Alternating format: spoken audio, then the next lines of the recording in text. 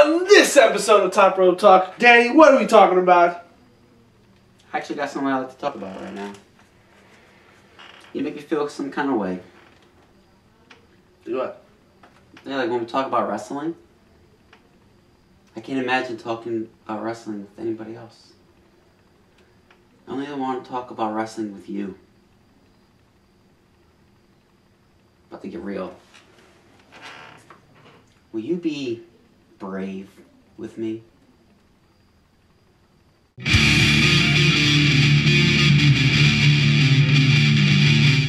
Welcome everybody to a new episode of Double Axe Handles Top Rope Talk. I'm King Kong Chris, Danny Cutthroat Falzo. and we're here to talk about the upcoming WWE pay-per-view, WWE Battleground. The newest of the pay-per-views. Should be Hell in a Cell, correct? Appar- I looked up. Oh, you looked up. I looked up You looked this. into it? Yeah, I looked up this. Tell me. I'm just gonna, looked up. I'm gonna pretend that that's the way you're supposed to say it. I So looked the up- more you say it, it's gonna sound right. I looked up. I looked up this. Hell in a Cell's at the end of the month. They didn't get rid of it. Oh, Yeah, I thought that too. So instead of being no more Hell in a Cell, we're getting blessed with two pay-per-view events. WWE's like, look how good we are. We're gonna be great and take 120 of your dollars. Thanks. And on top of that, they're gonna release a whole bunch of breast cancer shirts. Ah, that we're all probably gonna buy. I'm gonna buy at least three. Yeah, that's true. So anyway, um, going back to the last pay per view, which was I'm forgetting Night of Night of Champions. Champions. Uh, we were six for nine. Yeah, Three of those matches were unannounced. Two, of those matches were unannounced. Yeah. But we got those wrong, of course, Yeah. because we didn't have time to fester on it. So ideally, we were six out of seven, Ooh. which is a good, uh, probably our best. um, like we said, whenever we get a hundo percent, we're doing something awesome. Maybe we'll let you guys decide what we're gonna do. Ooh. But whatever. Um, we're gonna do something awesome. Anyway, so guys, before we talk about battlegrounds, um, follow us on Twitter, follow us on Instagram, buy our CD on iTunes. Um, talk to us on Twitter all the time. Yeah, we have lots of friends on Twitter. We would like some more. We would like more, and we like We to love just talk to all of you about Yes. everything. So, how was this month, this past month's Raw and SmackDown? What do you think? They were good. They were good. I I like, I like and don't like the vacancy of the WWE Championship. Yes. We have no champ right now. Um, I like it because it's cool because you don't know what's gonna happen, but I don't like it because that's the only one they're focusing on. No other belts mean anything right now. That's true. Whenever Del Rio comes out, I'm like, oh, he's still the champion. I don't even know. I mean, yeah, I don't know the last time I saw Sandow on Raw. I read it. I read somewhere, and I kind of agree with this, Okay, but it's kind of like blasphemous to say. you looked up this. I looked up this. Okay. I read somewhere that the WHC belt Uh-huh. is considered now what the Inter- Intercontinental belt was back then. Oh, so every every belt just got pushed down. Yeah, like in the sense of like the Intercontinental belt was like the second belt. It was like, oh man, like I am like just one step me. away from the face. And now for today's standards, that the WHC is that belt. Man, which sucks as well. Also because Of how great the Intercontinental belt is. yeah, but now you have people like Curtis Axel, who pretty much does nothing. True. He's like just thrown into a storyline with with great Paul- people. Yeah. But you look at somebody like Dolph Ziggler, who was given the World Heavyweight Championship, Mhm. but I've read about him that backstage, people don't think he's going to draw money in the future. Dang, So they don't think he's the future of WWE. dang. Which means, yeah, it's like, I saw this meme, they were like, he started from the bottom, they didn't even stop, now he's back at the bottom. so, Yeah, let's we- hope that that's yeah, not true. We don't like talk about backstage antics too much though, because God knows how true. Yeah, I don't want to believe any of it. But let's get into it, guys. Word. So the battleground kickoff match Kickoff. is going to be Dolph Ziggler versus Damien Sandow. Yes. This is a regular singles match. Oh, kick or offer. I just had an itch. It's fine. I thought you were telling me that I had something. No, no, no. with it. You So, can do that too. That's fine. Do it I- it together? feels good. All right. So, um, I'm saying We have not discussed anything. no, no. We're, we're going off. We're going off at the lip here. Here we go. I'm gonna say for this match, Dolph Ziggler's gonna win. Yeah, me too.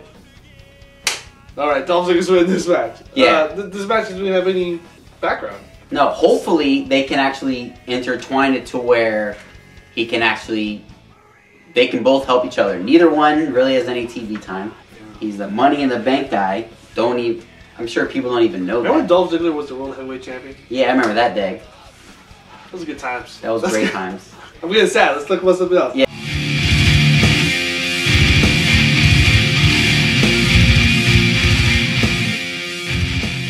Yeah. So I guess the next big match would be Curtis Axel versus R Truth. Uh, Curtis Axel being the Intercontinental Champion. And uh, there's not really much to talk about here. We're, we're- I think we both can safely say that Curtis Axel's going to win this. Yes, he will retain. Two for two. That's it. Done. Move on. I Next mean, that story was just progressed. Like, Yeah. hey, R Truth, you want to be in this? Okay, blah blah blah. And two weeks later, There's something about R Truth where it's like when he comes on TV, I'm like, Ugh. like all right, R Truth, whatever. But I don't mind watching him wrestle either.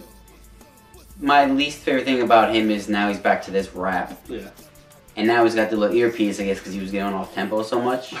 Now it's just Really? I even didn't- worse. I didn't yeah, yeah, he, it was hanging out. And also, one of, one of our friends on Twitter pointed out that he has a cell phone on his belt. I didn't see it this week, but I saw we saw it two weeks ago. I was like, you were correct. Whatever. I mean, I feel like R Truth's one guys when he's gone, I won't really miss him.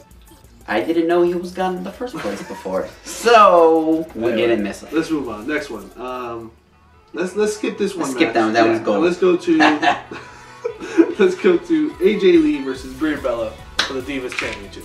Yep. I think it's safe to say. Better say it. Oh, I don't.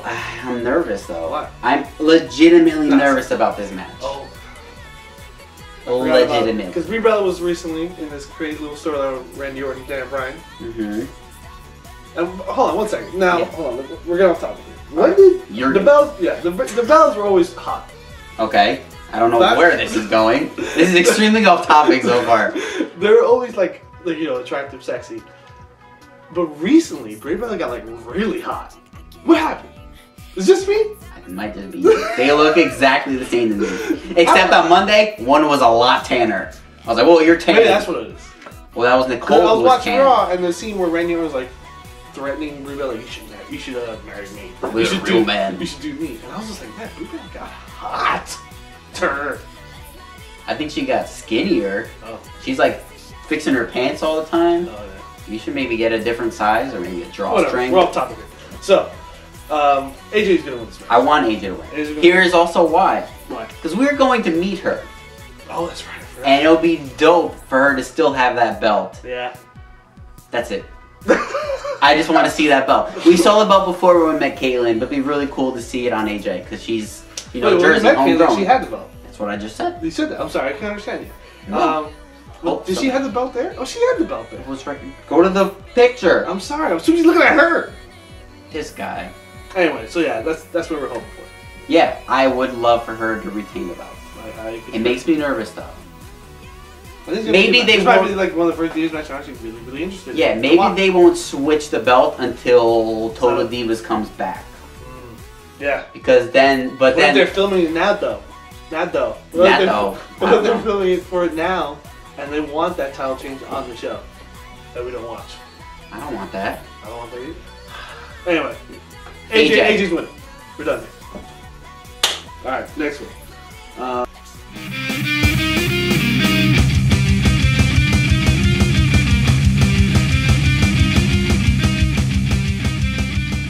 um, Alberto Del Rio versus Rob Van Dam for the WHC Championship. Del Rio is the champ. Don't care still. Didn't care last month. Don't care this time around. It's true. I'm gonna say Because it's a hardcore match, I can't see Oh, anything. I can't see anything but the Money in the Bank being cashed in. It has to. Hardcore match is gonna. They're at least gonna get 25 to 35 minutes on that match. okay. They're both gonna be brutally beaten and gassed to where David Sandow should just win automatically. Yes, I. I well, no, Rob Van Dam's gonna win, and then David Sandow's gonna cash in. I would like that. I don't. If RVD wins, he better cash in because RVD does not deserve the title. Son, You know you agree with me. Don't I do, you dare I do. try to play devil's advocate I'm right not now. playing any advocate. You're advocating the devil I'm not right now, advocating the devil. The devil is and a let's dial it back. Let's dial it back. All right, Okay, we're saying so RVD's win. No, no. we're- let's- we're screw final- The, screw, the, screw the money in the bank for now. No. No, let's talk about who's gonna win this match. Who's gonna win this match? RVD. And we're just gonna throw in like some chips in a gambling match. We're in, we're upping. This Yeah. is, I, we don't don't gamble. know. None of us know this term. that David Sands Raising. Oh, raising the pot. we're smart. Um, is going to cash in. Okay. Ooh, raise cash. Let's see. We're, we're all over it. We're all over it. You would have thought we were gamblers. Who would have thunk it? And then the Rhodes, Cody Rhodes and Goldust, with Dusty Rhodes, the American Dream, versus the Shield. I want Goldust and Cody to win, I would love them to win, but but they're not. ah, yeah, one of our friends on on Instagram said that uh, it'd be it'd be better if they lost because then that makes the Shield and Triple H and the McMahon's so much more powerful, which I never thought of. But I could totally agree with that. But Yeah. I don't want that. Yeah, I well- need to see Cody. There's something. There's something really. Um, Goldust. um, I'm trying to find the right word. There's something really, I guess, magical seeing Col- Cody and Goldust together. Yeah, Um, maybe because you know we've been watching Goldust for a long time now, Yeah. for a good long time. And when we, you know, finally got our love back wrestling again, Cody was like one of our favorites first. I was like, man, Cody's such a great wrestler, man. He's gonna go places. So then seeing them together is like, kind of like it's a little heartwarming. Yeah. Yeah. I was like, man, this is awesome. Like I just watched them two wrestle forever. Yeah. And plus, we've wanted Goldust and Cody to face the Shield since this feud started. Yeah. And Oh, then it kind of went nowhere, and then it's back. Oh, yeah, that would be awesome. Yeah. Hey, sir. well, oh, that was me. So anyway, so Sorry. with that being said, the Shield's gonna win. But we Oh, would but- like, I know. Yeah, yeah, yeah, I agree. I think it's gonna be cool just watching them fight. I think just watching them is gonna be pretty awesome. And Dusty's gonna be there. Which I think that match could steal the show. Which, by the way, how awesome was Dusty putting his hand in front of Stephanie McMahon's face on Raw? I've read that Stephanie was not happy with that. Oh, see, I don't like reading stuff like I that. don't like reading, but it's Dusty Rhodes. I don't care. He That's can do whatever whatever he he wants to be.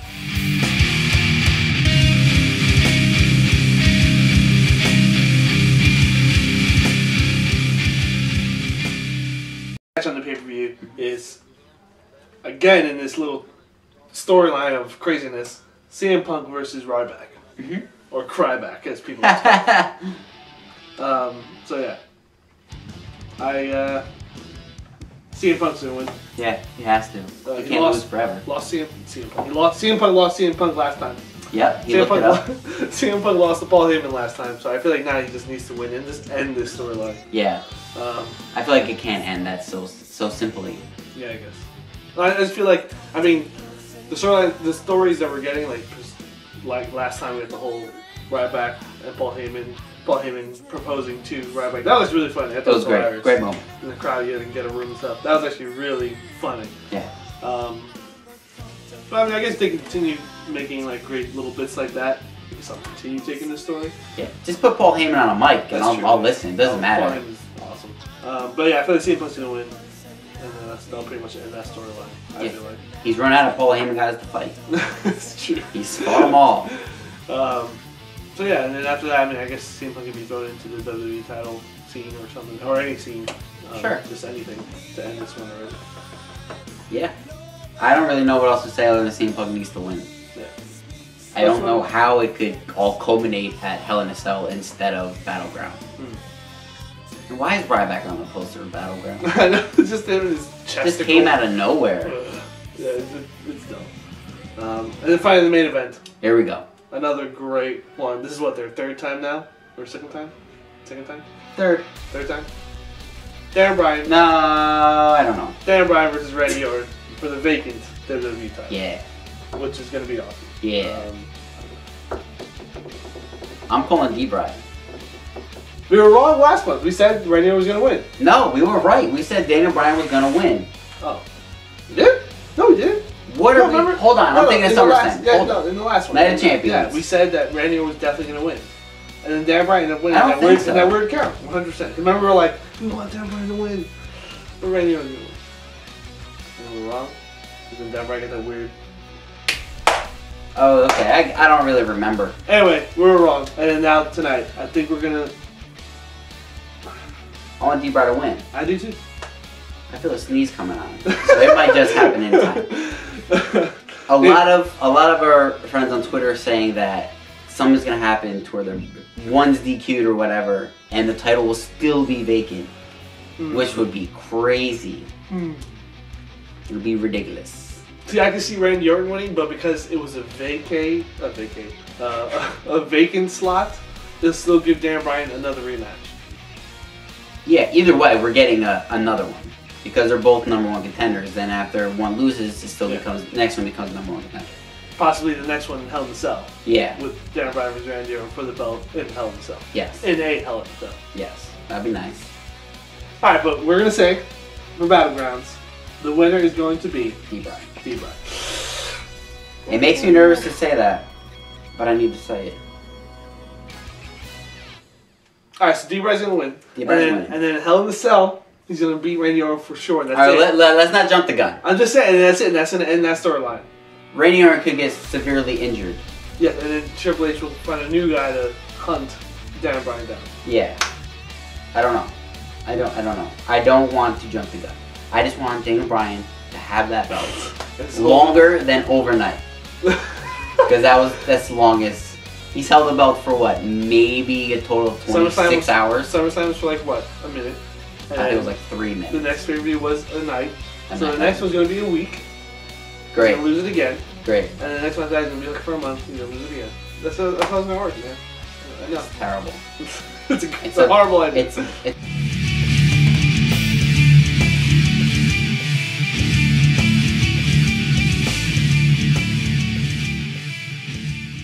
It's like Christian syndrome.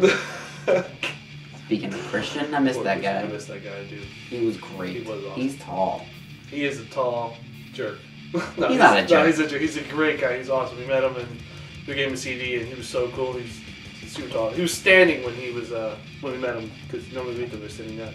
He was huge. Yeah. Like to me, everyone's kind of tall. I'm like what, Yeah. five six, I five was looking. seven. I was like, "Hey, Christian." Yeah, everyone's tall except for D. Bryan. We're about the same height. He was sitting though. Yeah.